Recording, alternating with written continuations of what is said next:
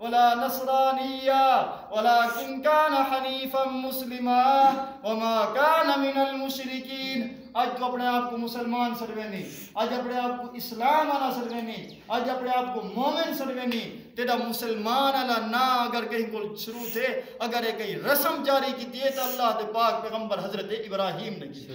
فرمایا حضرت ابراہیم علیہ السلام یہودی آدن ابراہیم تا سادہ بدے رہا۔ عمر بن لوہی نے بت بڑھایا مشرقہ دیان ابراہیم تا سادہ بدے رہا۔ کہیں گے عیسائی ٹھیکیدار بان پہ ونیان نصارہ ٹھیکیدار بان پہ ونیان۔ قرآن آدن نہیں ما کان ابراہیم یہودیا ولا, ولا, ولا نصرانیا ابراہیم نہ یہودی ہا ابراہیم نہ عیسائی ہا ابراہیم نہ مشرقہ ابراہیم مسلمان ہا ابراہیم اللہ دا پیغمبر ہے وال اللہ نے تذکرہ کیتا حضرت ابراہیم دا ان ابراہیم کان امتا قانتا للہ حنیفا ولم یک من المشرکین ابراہیم علیہ السلام حضرت ابراہیم مشرک کیا نام ایک حنیف امت ہن حضرت ابراہیم فرما برداران اللہ نے جگہ جگہ حضرت ابراہیم علیہ السلام دا تذکرہ کیتے، اے جرا مہینہ ہے، مسلمانوں، حج دے دیہاڑن حج دا مہینہ ہے، حج دا لغوی معنی کیا ہے؟ حج دا معنی ہے ارادہ کرنا۔ حضرت ابراہیم علیہ السلام دی سنت حج، حضرت ابراہیم دی سنت حج، رسول اللہ صلی اللہ علیہ وسلم دی سنت، حضور نے اپنی زندگی دے وچ ایک حج کیتے فرمایا حج تھیون دے بعد، فرض تھیون دے بعد زندگی دے وچ ایک حج کیتے چار عمرے ادا فرمایا حضور صلی اللہ علیہ وسلم نے۔ اور ہجرت کو پہلے فرمایا حج پرانے طریقے دے مطابق آپ صلی اللہ علیہ وسلم نے سیدنا جابر رضی اللہ تعالیٰ عنہ دی روایت دے مطابق ترائے حج حضور صلی اللہ علیہ وسلم نے کیتے۔ تو حج تلوغی معنی ارادہ کرنا۔ کیا مطلب؟ حج دے وینا پئی، پہلے اپنی نیت کو ٹھیک کر دے وائیں اپنے جانا دل کو جانا۔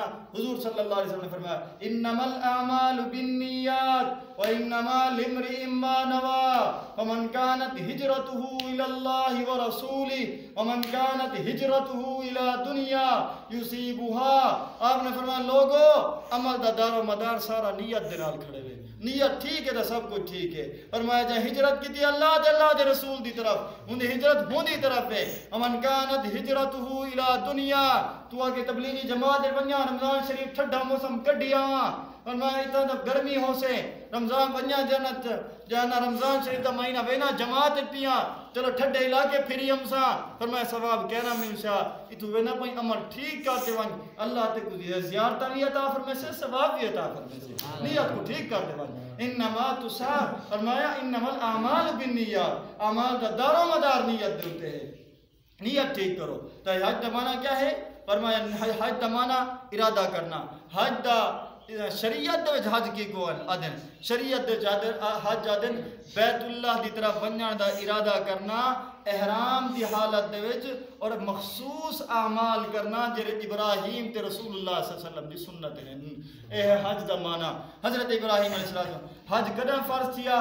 بعض روایات کے مطابق سات ہجری دے فرض تھے، بعض دن پانچ ہجری دے فرض تھے، بعض علماء فرمائیں اٹھے تھے، بعض علماء فرمائیں نوے تھے، بعض علماء فرمائیں ڈا ہجری تھے۔ لیکن صحیح روایت اے ہے، چھ ہجری دے حج فرض تھے۔ تفصیلی احکام نو ہجری دے وچ۔ واتم الحج والعمرۃ للہ چھ ہجری دے وچ یعنی مدینہ آن دے وچ چھواں سال اے آیات نازل تھی اور نو ہجری دے وچ آیات نازل تھی وللہ علی الناس حج البیت ان استطاعت الیہ سبیلا جی کو اللہ نے طاقت دیتی ہے حج ادا کرے۔ حج اسلام دا رکو نے جرا حج کو نہیں منے نا حج فرض ولاوی نیت ادا کرے نا گناہگار ہے۔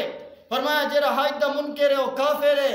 بنی الاسلام علی خمس شہادت واللہ الہ الا اللہ وان محمد الرسول اللہ و اقام الصلاة و ایتاء الزکاة فرمایا، لوگو، اسلام دی عمارت پانچ ستونے دے ہوتے پانچ پلرے دے ہوتے کھڑی ہے۔ ایک ادھلے پلر دنا ادھلے ستون دنا کلمہ ہے، دوجا پلر نماز ہے، تریجا پلر زکاة ہے۔ فرمایا، چوتھا پلر فرمایا فرمایا نماز ہے، روزہ ہے، زکاة ہے۔ اسلام دا آخری ستون تے آخری پلر تے آخری عمارت تے آخری منہ دنا حج ہے۔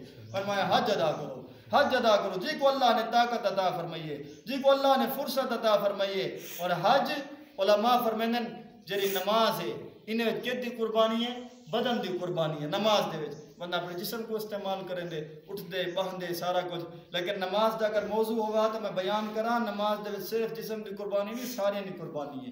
فرمایا تے نماز دے وچ کیا ہے؟ جسم دی قربانی۔ روزہ ہے انہا فلسفہ کیا ہے؟ ان دے وچ بھی جڑا نا جسم دی قربانی ہے۔ فرمایا، لیکن حج ایسی عبادت ہے زکات ہے ان وچ مال دی قربانی ہے۔ بنا مال ادا کرنے، حج دے وچ اللہ نے جان دی بھی قربانی رکھی ہے، مال دی بھی قربانی رکھی ہے، وقت دی بھی قربانی رکھی ہے اللہ نے۔ تو وقت بھی قربان تھی نے مال بھی قربان تھی نے تو جان بھی قربان تھی نے۔ اور علماء فرمینن اے جری نماز ہے، انہیں اقلیت غالب ہے۔ کیا مطلب؟ نماز دے بڑا کھڑا ہوندے بنا خشوع دے وچ کھڑا ہوندے خضوع دے وچ کھڑا ہوندے دریا کھڑا ہوندے بڑا اللہ دی اون دے وچ کھڑا ہوندے جاؤ جلال دے وچ کھڑا ہوندے نماز ہی پردہ کھڑا ہوندے پتہ نہیں کیا بڑھ سے۔ لیکن جڑا حج ان دے وچ عشق والا پہلو غالب ہوئے انہیں محبت والا پہلو غالب ہے اللہ سے یہاں کیویں؟ فرمایا نیوے ڈٹھا گھروں جو ٹر دیں اپنے جنے کپڑے جڑے پہنے جڑے کپڑے دی خاطر ساری دنیا دے پیچھے لڑدا ودے، چنگا لباس میں پاواں، چنگا میں پاواں، شام سویر ہی لباس دی خاطر ودے دیا محنت کرنا ودے اون دنیا نے لوگ لباس کو لہا سٹے نے۔ دو چادراں جا پہ دے فرمایا، وال والیں دی خاطر انسان کوشش کرن دے اے وال میری بڑے سونے لگ دین میری صورت کو چھکائی کرن فرمایا ایکو بھی لہا سٹے نے۔ فرمایا ایتھ والی جڑے چپل